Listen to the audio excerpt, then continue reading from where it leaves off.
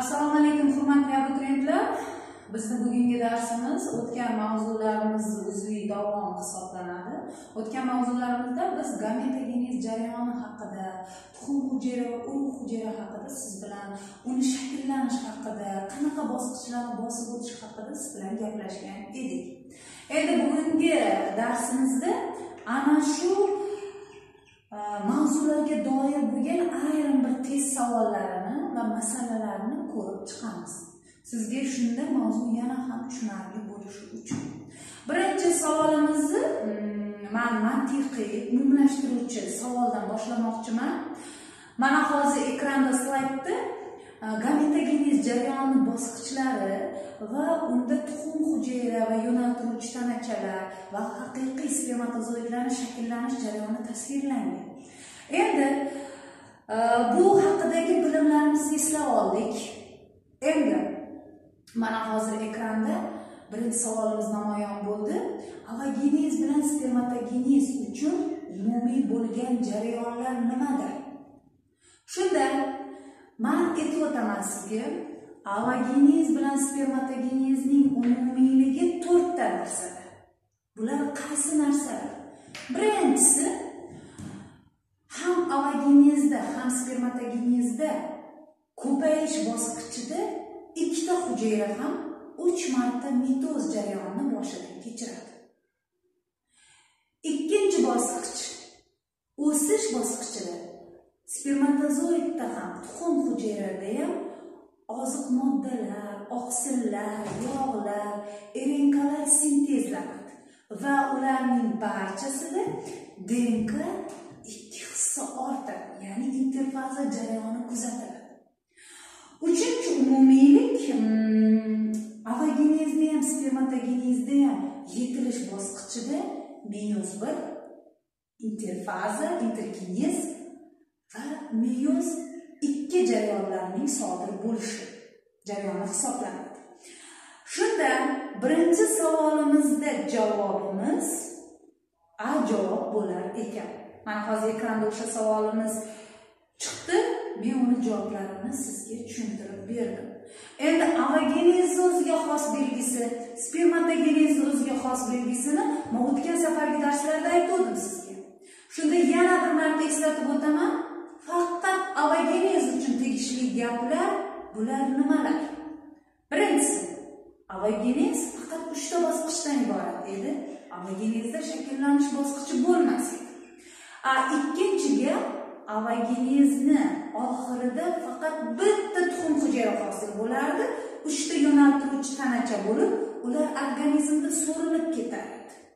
Va uchinchi farqi alogenezda hosil bo'lgan tuxum hujayralar o'rtasida oziq modda bir xil emas har xil taqsimlanardi ya'ni bittasiga ko'proq qolgan uchtasiga kamroq taqsimlanardi a to'rtinchi farqi alogenez uzoq muddat davom etadi ya'ni bitta tuxum hujayrani shakllanishi uchun o'rtacha yigirma uch kundan yigirma sakkiz kungacha vaqt kerak bo'lar ekan. Bu alogenez uchun xos gaplar endi spermatogenez uchun faqat spermatogenez uchun xos gaplar esa spermatogenezni oxirida to'rtta haqiqiy spermatozoid hosil bo'ladi. Va spermatozoidlarni shakllanishi uchun uzoq vaqt talab etilmaydi. Ya'ni bitta spermatozoid bir kunda shakllanib bo'lishi mumkin. Uchinchi farqi bu hosil bo'lgan spermatozoidlar qancha bo'lishidan qat'iy nazar ular hajm jihatdan tuxum hujayraga o'xshab kattalashmaydi. Ya'ni ularni hajmi o'lchamlari har xil bo'lishi mumkin. Ya'ni spermatozoidlarni o'zi ham bir biridan farq qilishi mumkin ekan.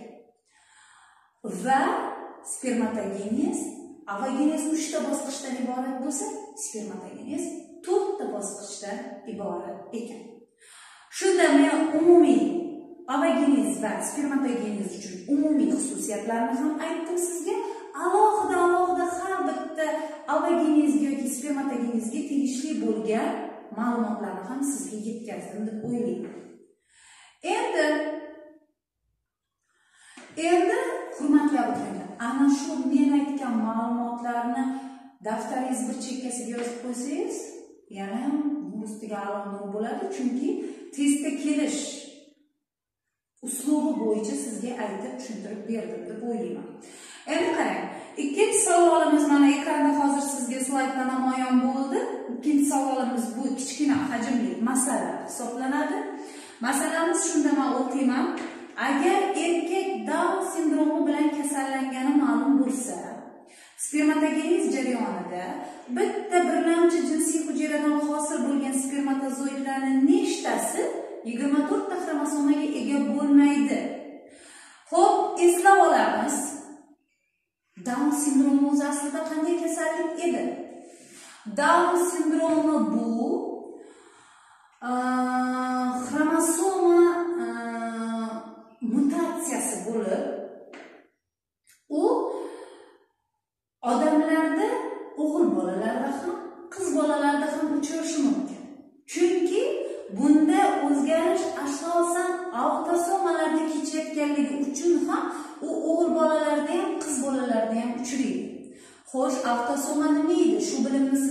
olaylik shu ma'lumotni.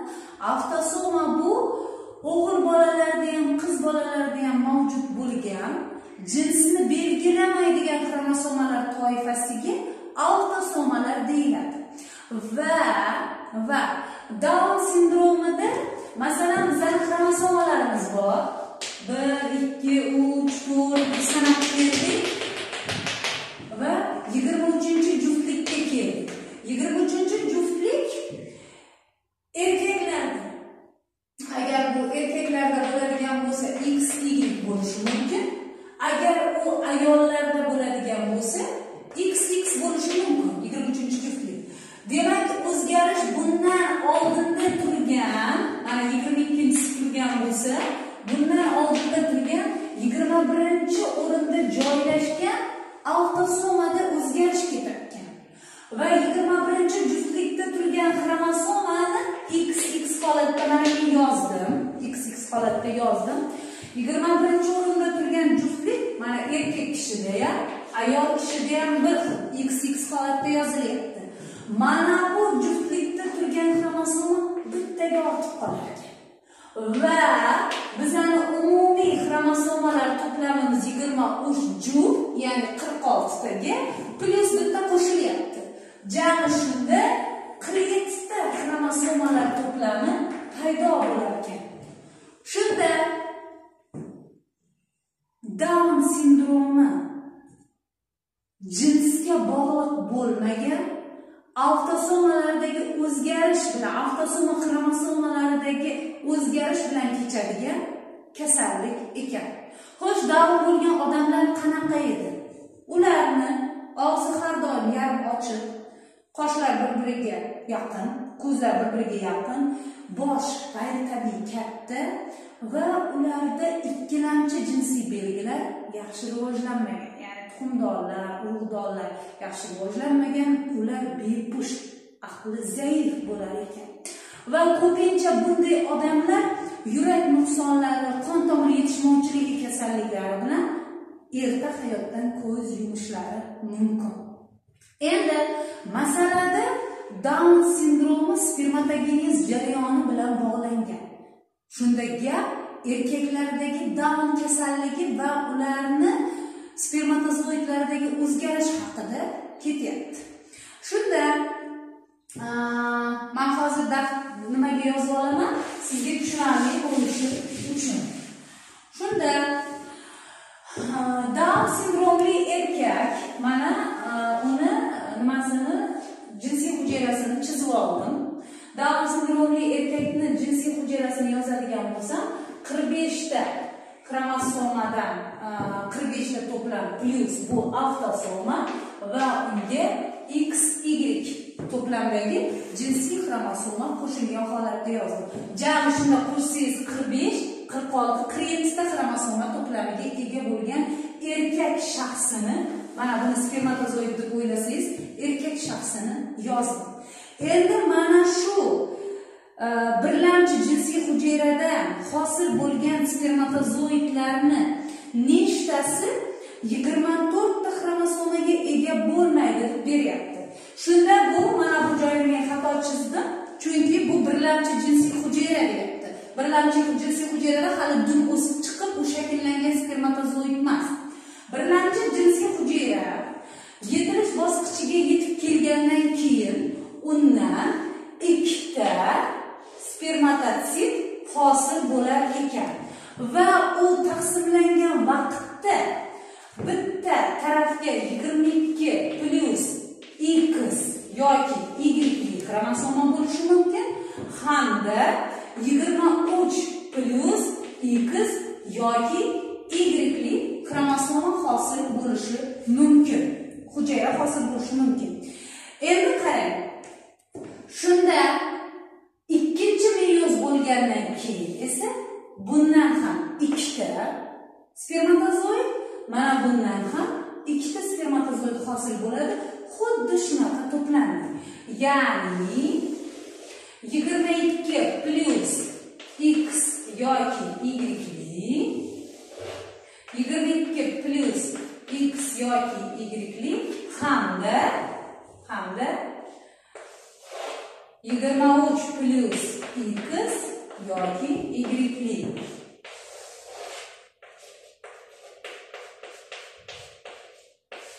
hujayra hosil bo'ldi. Endi mana bu hosil bo'lgan to'rtta spermatozoidni shakllanish bosqichiga o'tib aynan shularni o'zi hosil bo'ladi faqat shakllanish bosqichida ulardan nima o'sib chiqardi dum o'sib chiqardi shundan qarang mana bu e, hosil bo'lgan spermatozoidda xromosomalar to'plami nechi bo'lyapti hisoblaymiz yigirma ikki plyus x qo'shsam yigirma uch agar y ni qo'shsam ham yigirma uch shunda bu yigirma uchtalik mana bu ham yigirma uchtalik a bularchi yigirma uch plyus x yigirma to'rttalik mana bu ham yigirma to'rttalik shunda hosil bo'lgan spermatozoidlarni ikkitasi anormal holatda ikkitasi esa normal holatda bo'lar ekan. Va savolni oxiriga e'tibor qilsak hosil bo'lgan spermatozoidlardan nechtasi yigirma to'rttalik xromosoma to'plamiga ega emas deyapti. Shunda nechtasi yigirma to'rttalik emas ikkitasi. Ikkitasi normal holatdagi yigirma uchtalik to'plamga ega bo'lgan spermatozoidlar ekan. Shunda bu savolimizda javob a javob ya'ni ikkita spermatozoid yigirma uchtalik xromosoma to'plamiga ega. Ho'p shunda hurmatli abituriyentlar mana uchinchi masalamizga yetib keldik. Uchinchi masalamiz mana ekranda slaydda sizga ham namoyon bo'lyapti. Agar avogenezning yetilish davrida yo'naltiruvchi tanachaga yigirma ikkita va tuxum hujayraga yigirma to'rtta xromosomalar tarqalgan bo'lib ular normal spermatozoid bilan urug'lansa avlodda qanday genotip hosil bo'lishi mumkin? Endi qarang bizada ikki xil holat mavjud insoniyatda bu normal holatdagi shakllanish normal holatdagi shakllanish va anormal holatdagi shakllanish. Anormal holatdagi shakllanish. Normal holatdagi shakllanishda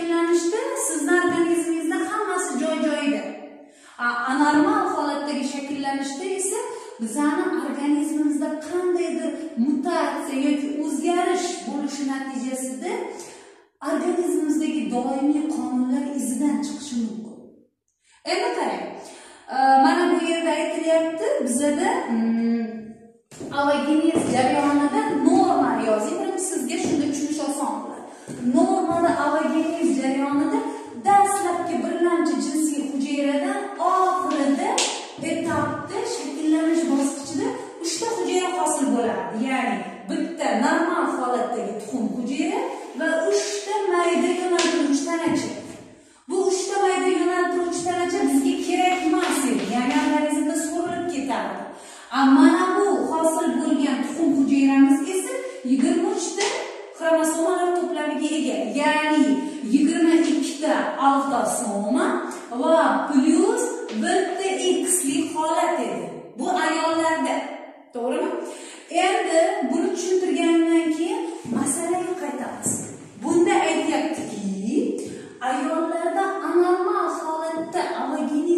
jarayon sodir bo'lgandan keyin unda mana dastlabki jinsiy hujayra.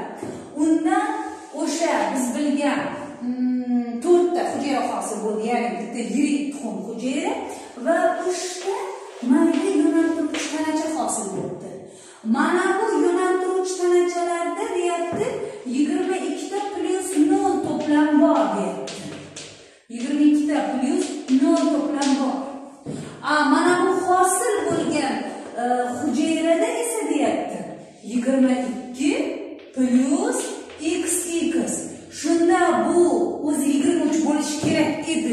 Nation of Kali, you can read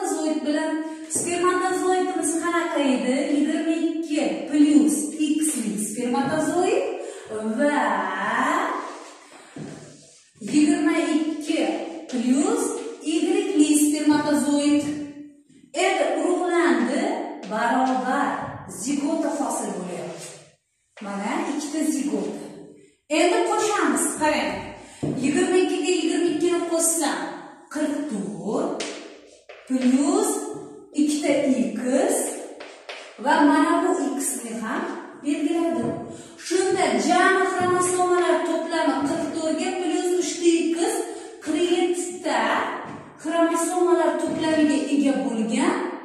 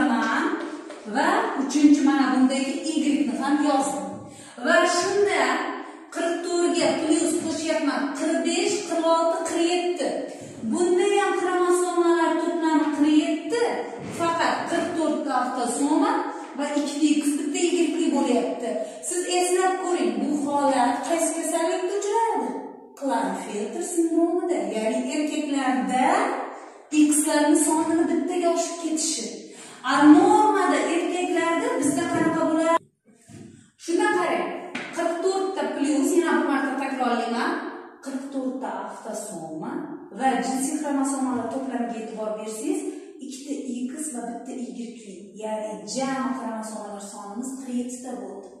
Ho'p mana bu jinsiy xromosomalarga e'tibor bersangiz ikkita x va bitta y eslab ko'ring. Qaysi kasallikda bo'lar edi? Bu klaynfelter deydi. Ya'ni klaynfelterda ayollarga xos bo'lgan bitta xni ko'payib ketishi.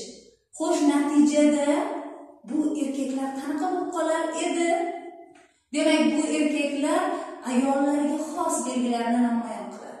Ya'ni ularda bo'ksa keng yelkalar tor qorin qismida bel qismida ortiqcha yog'larni to'planishi va ikkilamchi jinsiy belgilarning sust rivojlangani va o'zlari ham ko'pincha ayollarga xos belgilarni namoyon qiladi. Qaysi belgilar? Masalan ovozi ayollarnikiga o'xshab qolishi mumkin. Va e, men o'xshatish qilib beraman endi sizga. ayollarga o'xshab raqs tushishi mumkin. Ayollar bilan erkaklarni raqs tushishida farq bor. Mana mana bunaqa holatdagi genetikli bolalar yoki organizmlar tug'ilar ekan. Shunda masalamizga yana qaytadigan bo'lsak tuxum hujayra yigirma ikki plyus x x bo'lib qolganda avlodda qanday genetikli organizmlar tug'ildi desa javob x trisomiya holatdagi organizmlar kasalligiga duchor bo'lgan organizmlar tug'ilar ekan. Endi hurmatli abituriyentlar mana biz sizga test savollarida tushgan eng ko'p uchrovchi masalalarni va savollarni qisqacha bo'lsa ham tushuntirib berishga harakat qildik. Bundan keyingi davomiy mavzularimizni keyingi videolarimizda yana ko'rib borishingiz mumkin.